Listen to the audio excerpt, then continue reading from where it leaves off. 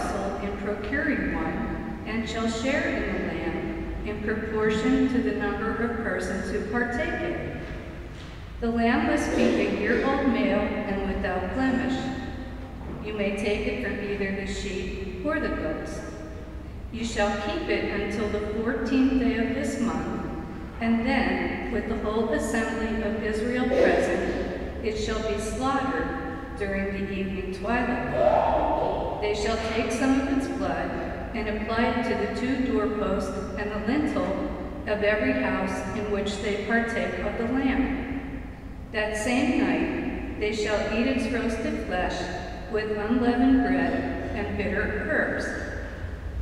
This is how you are to eat it. With your loins girded, sandals on your feet, and your staff in hand. You shall eat like those in flight. It is the Passover of the Lord. And on that same night I will go through Egypt, striking down every firstborn of the land, both man and beast, and executing judgment on all the gods of Egypt. I, the Lord. But the blood will mark the houses where you are. Seeing the blood, I will pass over you. Thus, when I strike the land of Egypt, no destructive blow shall come upon you. This day shall be a memorial feast for you, which all your generations shall celebrate with pilgrimage to the Lord as a perpetual institution. The word of the Lord.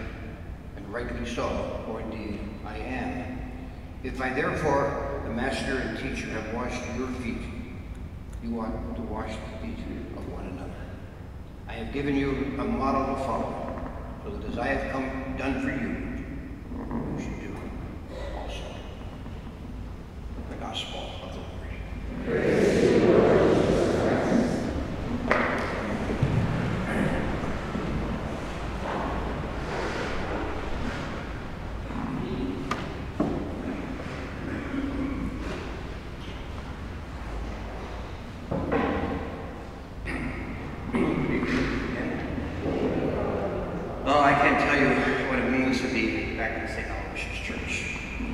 My, my cousin Ray, Char, people have been here all their lives. I've been baptized here. All the uh, family members have uh, had funerals and baptisms and weddings and everything else. And they had my first Mass of Thanksgiving here. So lots of memories as soon as we walked in the door right over there, guys. My father didn't sit there because he was in the back. He was, uh, he was an usher. Oh, so anyway, it's just good to be back. And I think memories are, are so important. Uh, I told you I'm kind of retired pastor now from uh, St. Faustina. And uh, it's been a challenge, but I'm living back on Woodbury Street, right down the road here from King Park, where I grew up. And somebody asked me, did you live there all your life? I said, well, not yet.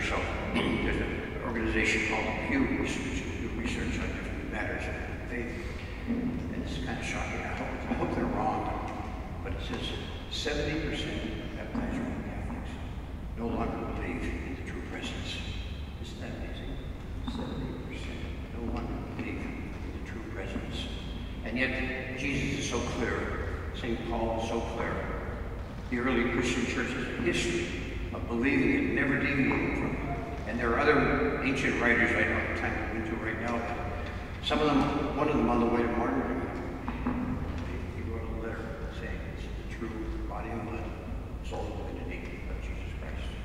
Wow, how can you possibly deny it? And yet that's what's happening.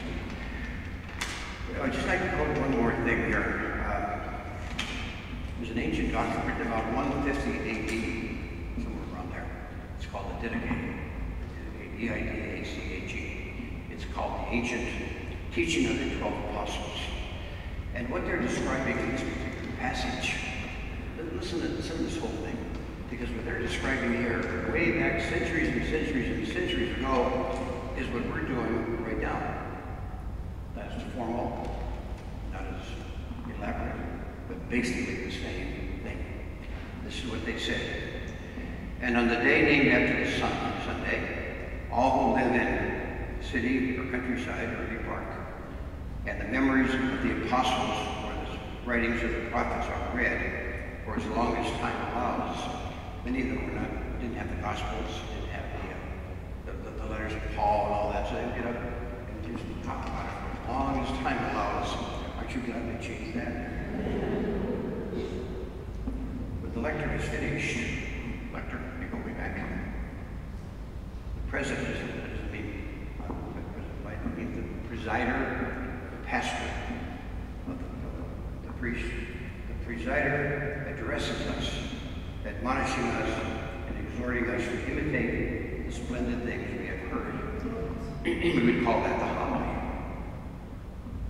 So, here we are. Then we all stand and pray. And as we said earlier, when we have finished praying, the Eucharistic elements, bread, wine, and water are brought out. We'll be doing that in a very few moments, the same thing. The President and the presider offers prayers of thanksgiving according to his ability. We, today we have four basic Eucharistic prayers, and but in those days, the presider, the priest would just say them spontaneously, and it would take a long time. Aren't you glad that's changed? You'd be here all night. And the people give their assent and amen, and our choir, I'm sure, is going to sing a great amen. We believe this. We believe this is the body and blood of Jesus Christ. Next, the gifts over which the thanksgiving has been spoken are distributed through for Holy Communion. And each one shares in them, while they're also sent by the deacons to the absent brethren. Just what they did thousands and thousands of years ago. We're doing it tonight. Isn't that amazing? Amazing. It seems to me that with all the turmoil in our world, crazy that's going on, I never thought I'd ever live to see some of the things that are happening. I'm sure you feel the same way. But this is the stability. We know we can come here and receive this Eucharist that's been done, received by Christians for the past 2,000 years. Now, one, one of the things that John's Gospel has, and the other three do not have, John did not tell us how, to celebrate. He didn't say take the bread and the wine and say these words. What he did in place of that was uh, washing the feet. In other words, he's saying, you already know how to do it. That's been clear. You've been doing it for many, many years. You know how to do it. Let's talk about now what it means. You know, what it means is to wash. Now, I don't know about you, I, I was at a, Seder last Sunday, and at the end of the day, they, each we washed each other's feet. I didn't like it. I, I, I, I'm very uncomfortable because you're you're vulnerable. You know, you're having to take your shoe and sock off. Somebody's to wash your feet. I can cut my toenails and all this stuff. But uh, you're, you're, you're like you're vulnerable. You're you're you're out of your comfort zone, and you're doing something that you don't normally feel comfortable doing. And that, my friends, is exactly the point of our discipleship. We remove ourselves from the comfort zones to do something that we don't normally do as we reach out to one another. Pope Francis has been saying since he's been a pope, smell like the sheep. Everybody said, what in the world is he talking about? But he means be with the people, be there in the world where people are struggling, people are having problems, people need a listening ear. And maybe, maybe you're uncomfortable doing it. Maybe they're uncomfortable getting it. But the washing of the feet shows us just how uncomfortable discipleship can be, but also what a great gift it is. So tonight, as we continue to remember all of that, but right now, act it out in front of you. We're going to do the washing of the feet. Normally, in my 30 some years of priesthood, I would always kneel before. But guess what? I turned old, and kneeling down is a little bit of a challenge anymore. So I'm going to stand up. Okay. So thank you, and I'd ask, I'd ask you to, uh, I'd ask you to make this a, a moment of prayer, not just a, a ritual, a moment of prayer. And ask, ask yourselves, which feet in my life are they going to wash? I don't know, really figured maybe Maybe they need my forgiveness. Maybe they need my care. Maybe they need my love. Maybe they, they, they need my reaching out to them. Maybe it's somebody I don't want to it to, but they can't stand. But just think about that. Or think about the number of ways that each one of us, including the guy standing in front of you, need to be reached out. and Our feet have to be washed as well. And that's a great gift, a great blessing. Let's enter into this prayer right now. By the way, I want to say one more thing. Uh, this is also the institution of the priesthood. You know, priesthood. And uh, I remember when I was growing up in this parish, we had a pastor, senior one senior cabinet, and there were also three, two assistants in the parish, and three priests. Today, Father Serbai not only doesn't have two assistants, he has two parishes. And that's typical all over the diocese. So let's pray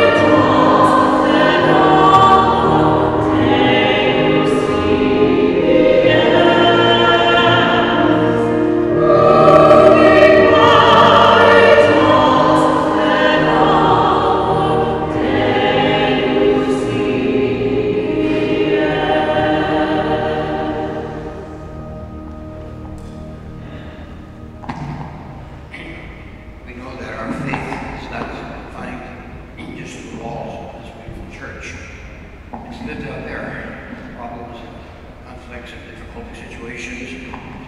We bring love. And that's really the spirit these petitions will be Our response will be, Lord, hear our prayer. For the church, that with love and compassion we may serve all those in need, providing a model disciples. Let us pray to the Lord. For all those who are suffering in any way, from pain, from grief, or from want, that their burden may be lifted by the enduring mercy of God. Let us pray to the Lord. For all those who have dedicated their lives to service in ordained ministry, that they may be renewed in mind and spirit as they work to fulfill Christ's mission. Let us pray to the Lord. Lord, For all our prayers, spoken and unspoken, for the sick and homebound, and for all those in our special intention book near our cross, let us pray to the Lord. For our Jewish brothers and sisters who have begun their celebration of Passover, that all our prayers to our one God may be united with theirs on this holy night. Let us pray to the Lord Lord, for our faith community, that our participation in the celebration of these holy days may renew us in our mission to serve one another. Let us pray to the Lord. Lord, For all who have died in Christ, for Nell Krella, for whom this Mass is being offered, and for others we would like to remember, let us pray to the Lord. Lord. Lord, we thank you for this night. We thank you for giving us the great gifts of your body and blood, soul and divinity in the Eucharist. We know that wherever, wherever our lives take us, whatever situations come into our lives, up and down, good not so good. You are there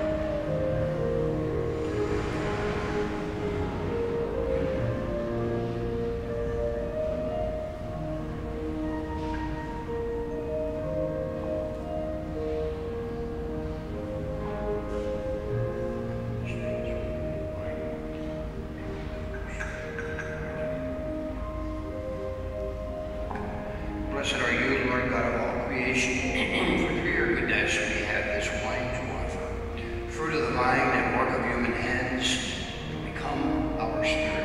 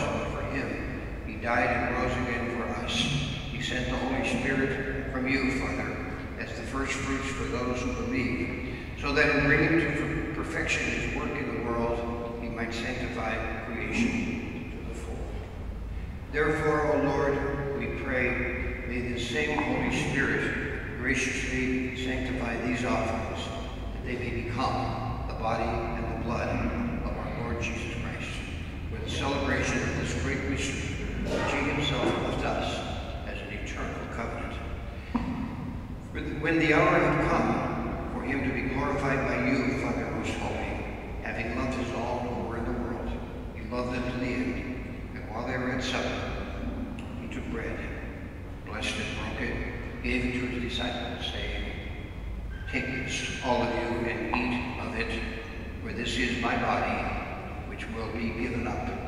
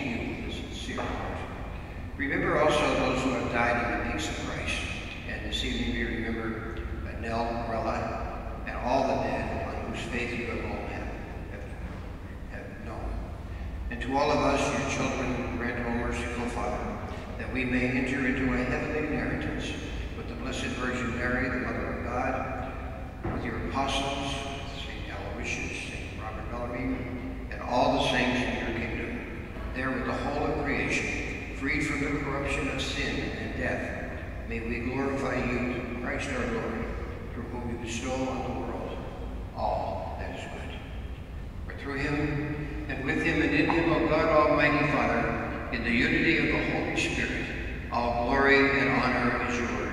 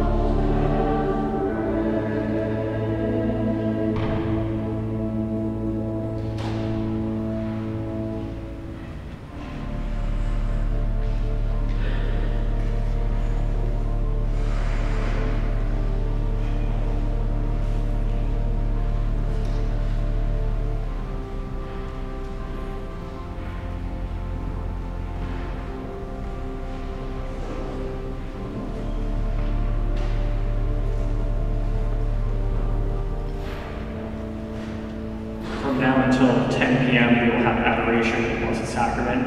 And at 10 p.m., uh, you are invited to join us for the celebration of